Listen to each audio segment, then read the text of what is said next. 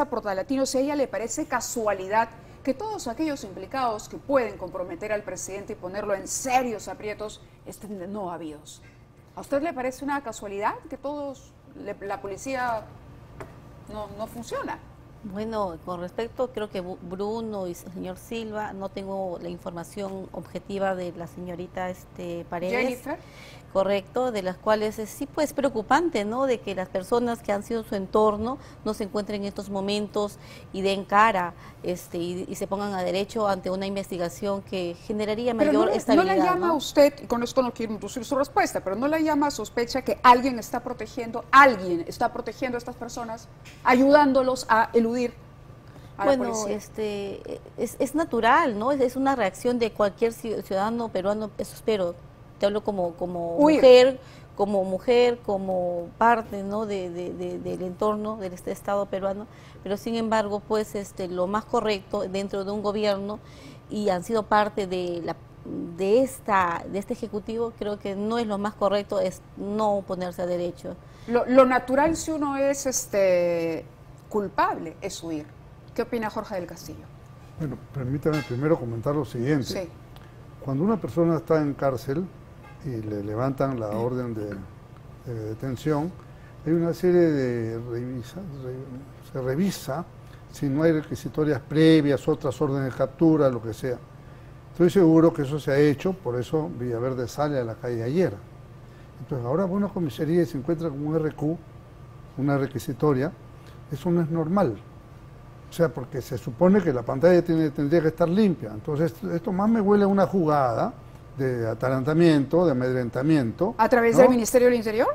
Evidentemente, hay gente que se presta para eso. O sea, el ministro Mariano González debería salir esta misma noche y poner las cosas en su sitio.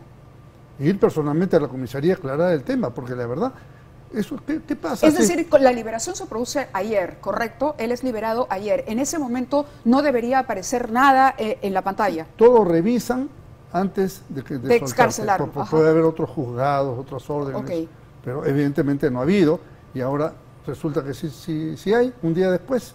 Entonces eso no es normal. Lo que se quiere es evitar que este hombre entregue pruebas. Y por eso le están haciendo seguimiento la, la inteligencia Congresista Portalatino. Bueno, yo creo que a raíz de tu aporte va a ser muy crucial que el actual ministro del Interior se pronuncie, ¿no? Porque esto no podemos dar mayor este, zozobra y mayor inestabilidad al gobierno. Yo creo que algo objetivo sería que salga y, brinde la información más veraz, porque son, son, son algunas informaciones que no son oficiales, ¿no? Yo creo que este, en ese sentido esperemos que el transcurso de, de, estos, de estos minutos o, hora pueda este, salir un comunicado oficial y nos demuestre mayor transparencia, ¿no? Perú Libre llevó a Castillo a la presidencia. Hoy la situación es distinta. Perú Libre va por su lado, Castillo por otro.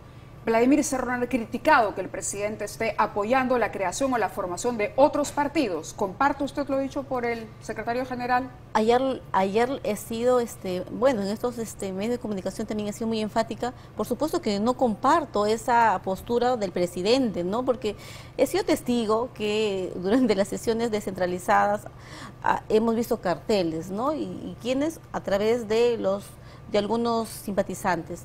Pero sin embargo, eso eh, no era lo más correcto dentro del periodo que iniciaba el gobierno.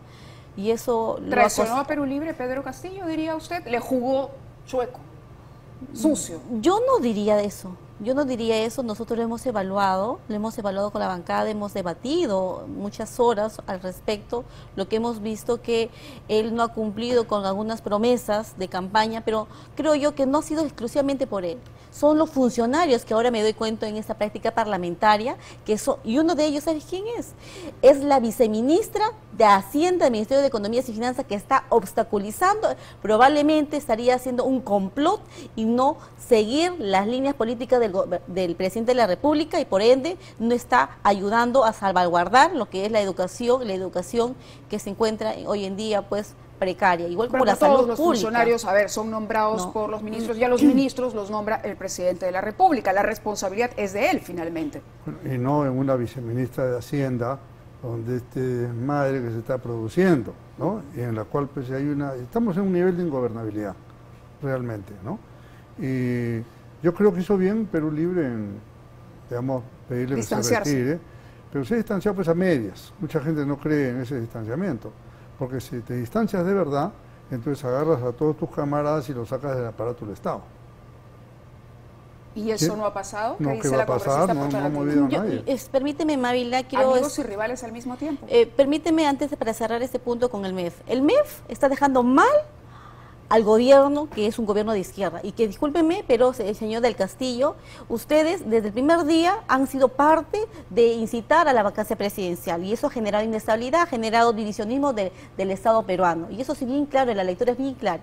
Con respecto al tema de, este, de esta postura, de que hay pues un tema eh, netamente eh, partido que representa el, doctor Vladimir Cerrón y, el, presidente, definitivamente nosotros eh, hemos sido muy tajantes, hasta ha sido una posición muy ácida el, secretario general nacional con, el Ejecutivo. Y nosotros vamos a mantener con críticas constructivas, nunca va a ser destructivas. ¿Por qué? Porque nosotros hemos sido parte, le hemos encaminado y ahora es presidente. Por lo tanto, vamos a ser nosotros muy fiscalizadores y si tenemos que nosotros, la bancada Perú Libre, vamos interpelarlo. Y, déjame decirte, Mávila, que nosotros si tenemos que interpelar a un ministro, no nos va a temblar la mano desde la pancada Perú Libre. ¿Por qué? Porque nosotros nos debemos al pueblo peruano que hoy en día somos representantes como congresistas. si se trata del presidente, señora congresista, ¿y si le tiembla la mano? no nos tiembla nada más no nos tiembla la mano, ¿sabe por qué, señor del Castillo? Porque hasta la fecha el señor Samir Villaverde todavía no demuestra esos supuestos este, afirmaciones, ¿Y corrobora. Si lo cambiarán ustedes? Tendremos una conducta muy diferente, probablemente que sí, eso sí que sí. Cuando tengamos nosotros ya los argumentos, cuando haya pruebas sustanciales, definitivamente, este eso que no le quepe la menor duda. El pueblo peruano nos está observando día a día y los resultados lo estamos demostrando todos los congresistas de la bancada Perú Libre con trabajos muy, muy firmes y lo que estamos viendo hoy en día. Claro, pero lo que decía eh, el doctor del Castillo es, ustedes no han retirado a sus militantes, a las personas allegadas al partido, que están todavía en el aparato de gobierno. Entonces es un divorcio a medias, custodia compartida del, del aparato del Estado. Es ilegítimo que algunos militantes tengan espacios en el gobierno. El APRA ha tenido tanta gente, ahora son nombrados dentro de los sectores de diferentes sectores públicos. Y eso nadie, nadie ha sido tan incisivo como este gobierno. de las cuales.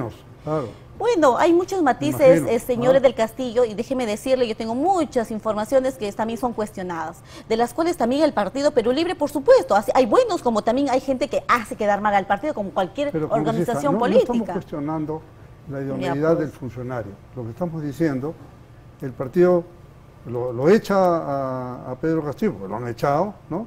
pero siguen dentro del gobierno. Viceministros, directores, prefectos, gobernadores, etcétera, etcétera. Entonces es, un divorcio falso.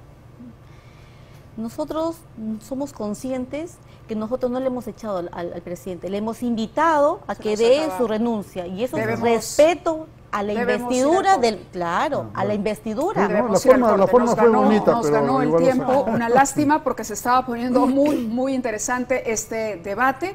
Tenemos que ir a la pausa y regresamos. Gracias a ambos. Gracias, a ti gracias